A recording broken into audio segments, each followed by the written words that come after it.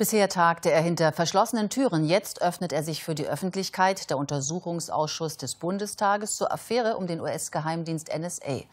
Das mag wohl auch an der Tagesordnung liegen, denn heute geht es nicht um geheime Erkenntnisse, sondern um Bürgerrechte.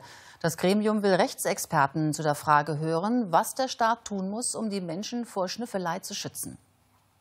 Edward Snowden soll in Berlin vor dem Untersuchungsausschuss aussagen. Das verlangten die Piraten heute erneut vor dem Bundestag. Doch ob es dazu kommen wird, ist weiterhin völlig unklar. Die Bundesregierung lehnt eine Einreise ab.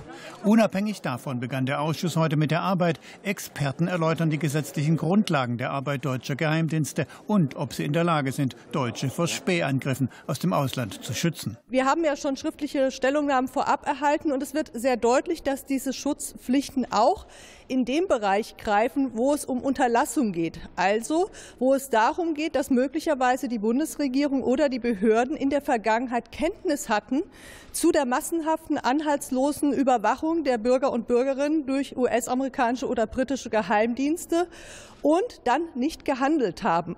Immer länger wird die Liste der Zeugen. Neben deutschen Spitzenpolitikern sollen nun auch die Chefs großer amerikanischer Internetkonzerne wie Facebook oder Google geladen werden.